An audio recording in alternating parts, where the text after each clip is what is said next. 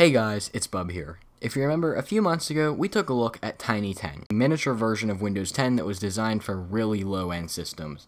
I believe it only took up probably roughly 500 megabytes of storage, I don't remember exactly, and it was extremely lightweight on resources. NTDev still has not released a version for Windows 11, or also would be known as Tiny 11. So, in this video, we're going to be taking a look at an alternative to a Tiny 11, which is Nexus LiteOS 11. I found this while just searching the internet, and I'm really excited to take a look at it today. I believe it was developed by another YouTuber who I'm sure we'll find out when we turn on this operating system. So let's get started, and let's just see what this operating system involves, and if we can create a better distribution of Windows by using a Windows 11 debloater. Now, this version does not require TPM or secure boot, which makes me think that it is probably a modified ISO. Well, obviously it's modified. Yeah, we can see this is the Windows 10 installer, not the 11, which makes sense.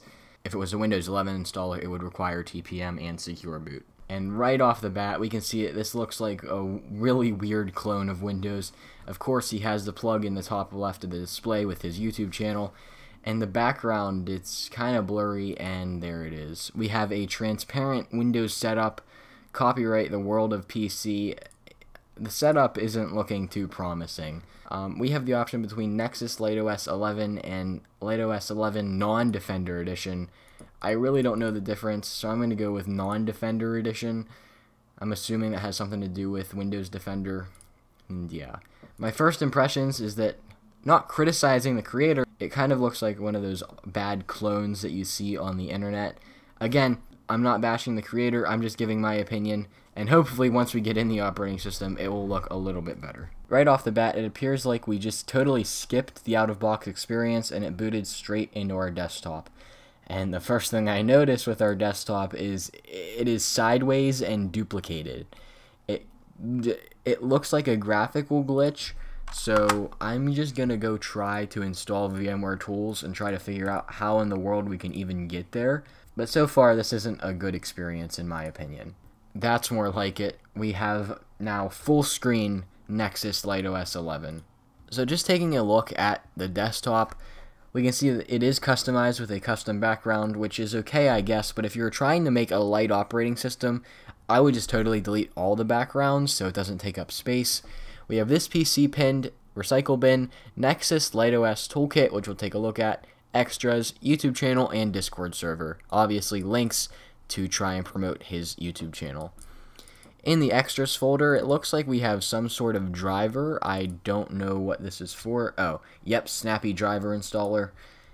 This looks pretty uh, generic, I would say. A little bit shady, but it is what it is. Nexus LiteOS Toolkit this looks like all-in-one tool exclusively for Nexus LiteOS. So it looks like we can clean up um, temporary files, tweak tweak the system, gaming tweaks, um, compact the operating system, uh, change context menus, Windows apps. So download the Windows apps that were deleted, like calculator and stuff, which is honestly pretty cool. Um, downloads, which is all cracked, so this doesn't exactly look very legal to include in an operating system. We also have Activate OS and Office, which is also not legal to have in an operating system, and OS updates. These two sections aren't very legal, but as long as we don't use them, I think we should be fine. So just taking a look at some of the pre-installed things, the only things that are pinned to the Start menu are Settings and File Explorer, and literally all the apps we have are File Explorer, Get Started, Microsoft Teams, Settings, the Ease of Access, and Windows Tools. That is all that is installed. So this is honestly a pretty lightweight version of Windows. And I just want to see how much this how much space this takes up. This takes up roughly 7 gigabytes. It's worse than Tiny 10, but this isn't as minimal as Tiny 10 was. So the first thing is that there is no web browser pre-installed.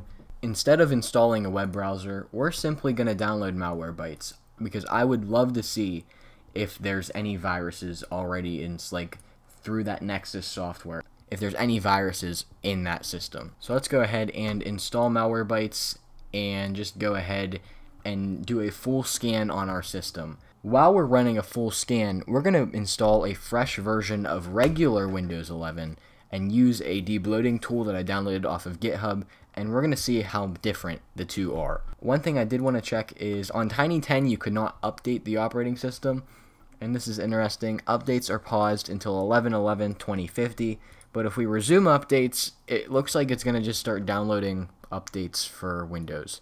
Yeah, it is. So let's go ahead and click done and let's run a full scan on this system. Let's get started. Let's go ahead into Scanner, Advanced, Custom, and Scan C. Let's let this run. I can't wait to see what we find, if we find anything.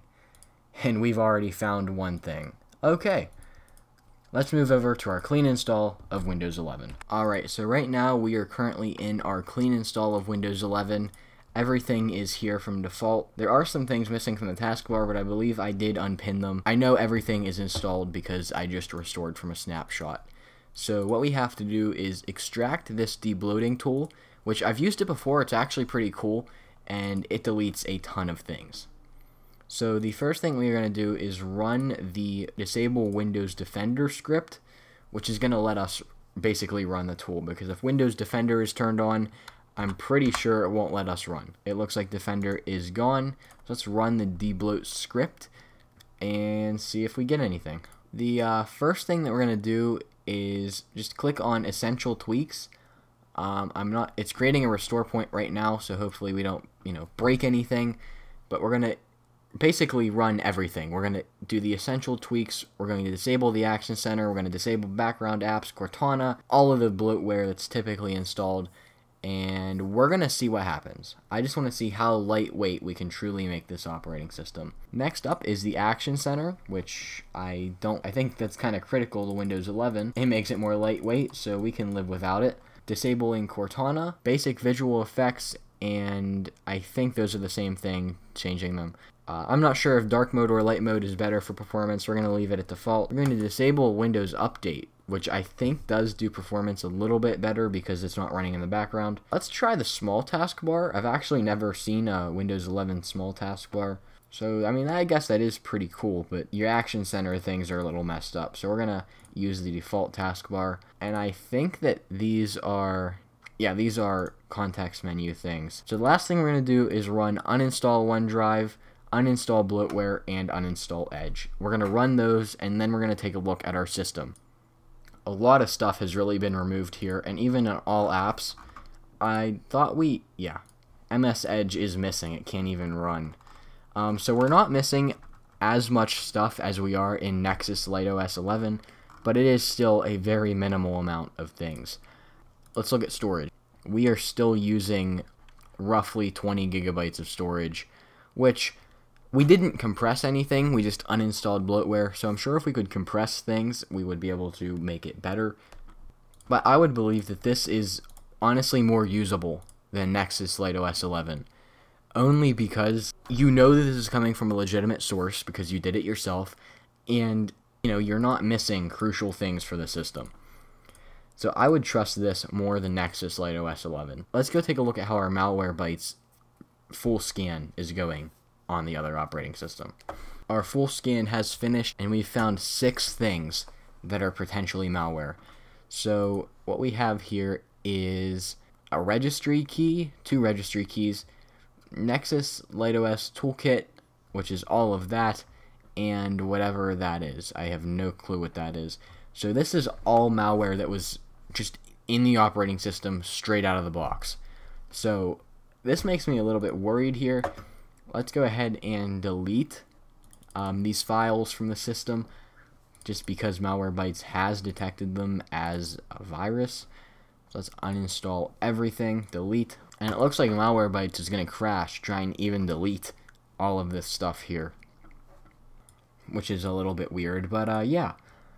So this definitely isn't as good as Tiny 10 was, and I can't wait for NT Dev to come out with a Tiny 11.